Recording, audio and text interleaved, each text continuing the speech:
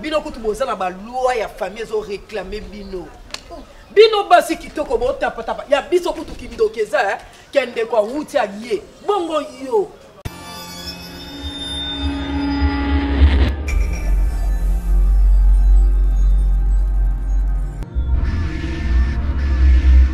alakisaka bete olakisa susaki olakisa saka olakisaka sikoni okomaka tika mnoko esi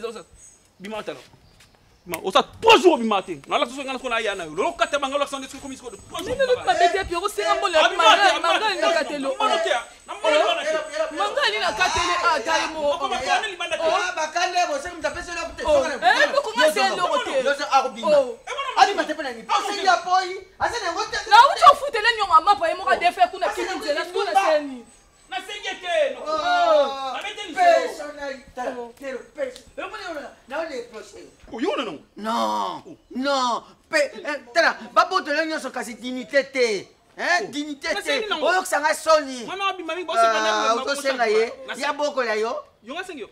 yebisanga part na yo oyo ozosala lokola mama eza nini mama yaya liboso ye wana ana libala kitoko abota te ya mibale ndenge moko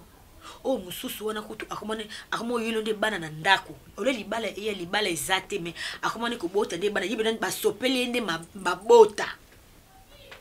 ngai oyo naza na gi mama mwa mbala na bimisa bongo ebele mpo abalanga fete na biso ezalaka 4 jours na beatrice bato baolia baolangwa bake bandako na bango basechange baye lisusu parceke fete ezo continue mwa mobala nagebaki dozo na kosepelisa yo ntina dernier centime na ngai ngai nakota na ndako ya libala nakobotela mwana mobala bato te me loko aza mobali malamu alingaka ngai akangi motema bino azaka na mwasi me fami na ye eza gi te bango na baotelema matin midi soir mpo bakoluka koko na bango niese na bango cousin na bango neve na bango nayo ezo makanisi je me suis dit ok tokende kosasa ata baexamen na hôpital peut-être anomalie ekozala mpa na ngai to mpe ezaki bakosone biso ya médecin pour que na suka nango tobota nous sommes allés chez le médecin médecin aconsulte biso amoni ke toza na anomalie ata moko te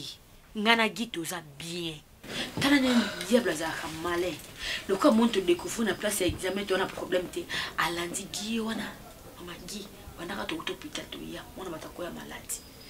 maladi emonana te sara kutu akolaki papa opesaki ye mwana na age oyo esi elekaki mpo na nini nga te seigneur nakomi kuta ata na age ya menopose te naza na age oyo nakoki obota bana papa soki lisumu soki mabe soki likambo seigneur limbisa yo oza nzambe olimbisaka bilobi tolimbisa mbatuku sambo mbala sambo papa limbisa masumu na ngai limbisa ngai yaya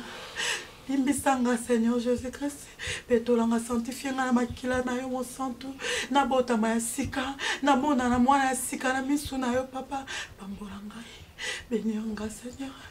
nakumisi na tatoli monene yo parceke ozali nzambe yo olobi oyo tosengi tolika ete epesameli biso papa nayebike kopesamelanga kumbama na eternel mosantu na lolobongi na lokumu na neto likumbu na parceke ozali nzambe na nkombo na yesu kristu mpe nasambeli bongo nalobi merci seigneur jésus christ amen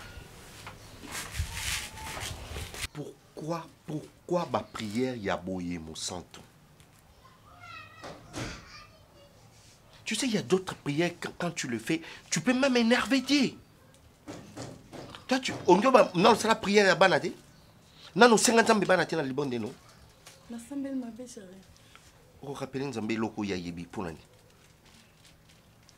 orapele priere osi osala pwanu kasi nzambe abosana ke osenga bana ozala na mposa bana yo kasi nzambe ayebi te ke mwasi nyonso fo abota yo kasi nzambe ayebi yango te ke nde oza na kati ya libala no boye fo bota kasi nzambe ayebi yango te ata yo kokende kolakisa mindele monoko ya sika balobaka lisusu français te batika anglais batika minoko na bango mpona yo okomi kuna ata yo kokende kotone bango poso bakoma move na boyi na ngai Eh, na comprendre makasi bolinga nga noko yamoni biso tolobi eza eh. monene eza nango eloko ya famille oza mwana mobali na place oyo banda ovandaka vandaka vandaka okoma ridicule hmm. toteka ndambo yo tikala na ndambo ah, mama na yoboyaki na ngai bona ye bango moko bandeko na ngai ntango bafandisaki ngai naboyaki na ngai nalobi naboyi na ngai mindona lopokabino lokola boboti te kokoma wa ngai naza na bafantage koleka na boyi yokanisi ndenge aza boye soki asimbi kisi lelo aoliana aza moto ya pembe na bampiaka oyo nde moto akomaka tipo tipo mona akoli akomi meti noir lere yango oyo tokoteka nyonso te makambo oyo eliaka bato na lopango ebomakaoteka mpe na ndenge asitokoteka na parti kuna etaliki na balabala wana tofongoli porte ah, ekei tinel wana bato mpo nini yo oliki mwana na yo yo ozosepela na vie oyo nani wayamba akomi kovivre na yango toke na hôpital bo aza bien tozonga bwa bebe ki akoma kosala bafièvre 40 so andi kopike bacrise awa okoka te soki naza kaka boza bana makasi nalingi te nalakisi ke nga mpe naza abattu mama mais je très mal so eza na eloko moko oyo oyebi mama s'il te plaît si oza kota bo papa na yo to kota bo mama mama réparer peut-être na mbongo na biso mabala opesa bango ndambo basepela te babi tokovange ka epai ya bana oyo mosusu wana totyeka milimo abotaka me azwa libala te baoyo babala babotaka te mpo suka nango tozonga na famille totelengana te mpo naza na telefone te so nazalaki na telefone nde na enregistre bino mpo na nini tata na bino aza na kindoki azolinga abalisaka bino fala afandaka na bino na ndako lokwa mipiku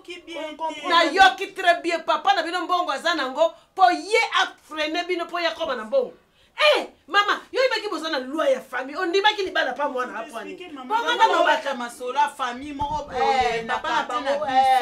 papa na bango sikoyo asimba bakisi soleki epa na biso troisième quatrième parcelle na famille oyebi na minute nakokangisa yo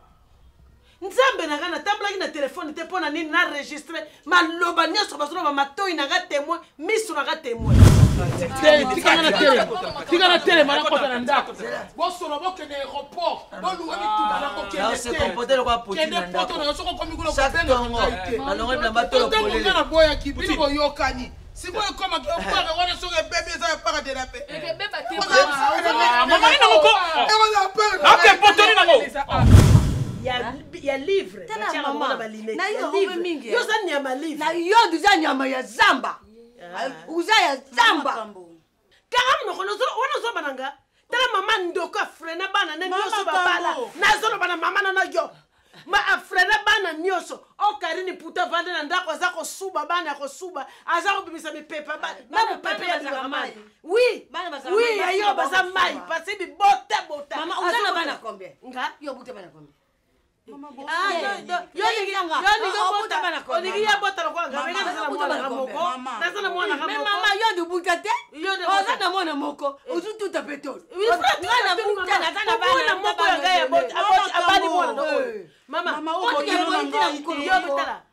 eloko nazo na bona ya suka yango oyo omoni perike otie bable age na yo esi eleka bable oyo mama me ndenge oyi babibongisa nzoto bana bazobananga ja na elokomonini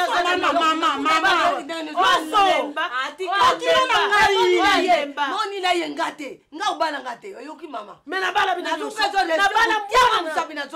mosapi nakobengana ye nakobengana mwana na yo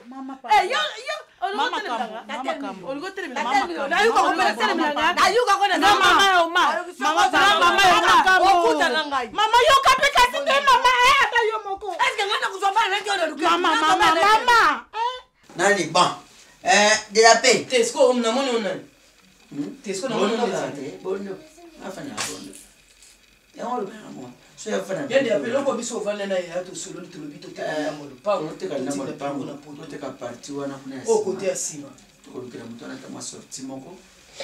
l'essentiel nanu abimana abimana kofinga eleki abimana eh, mm. ya lowi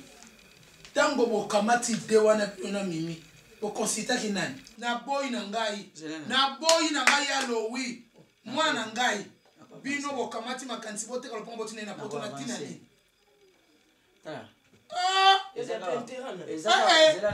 esala ngai lokola baza bana na yo baza bana nga te nga nona mimi zemi te na gardon pendant 9 mois nona oki douleur maternité te papa eh, cardozo aza wana aa na libala aobota te nga na na libala naobota te priska idem ntina na chronitoire kaka tozwa bana tangi totanga makolo tofunge baza totiki mbongo biso kutu toza na kati ya mariage oyo ata naboti bana 5 6 7 mokili etonganga te bayebi te aza marie oh! moto abota mwana abotami ka lobilobi mwana abotami ka lobi karine tika oza na raison te eh. esalaka osoni te balakisi wapi mokolo mwana oyo mama na bango ye o oh, bobala yango bilongi ekesana boye nini tata moko batata na bango me biso bato toza na tata moko wapi bana papa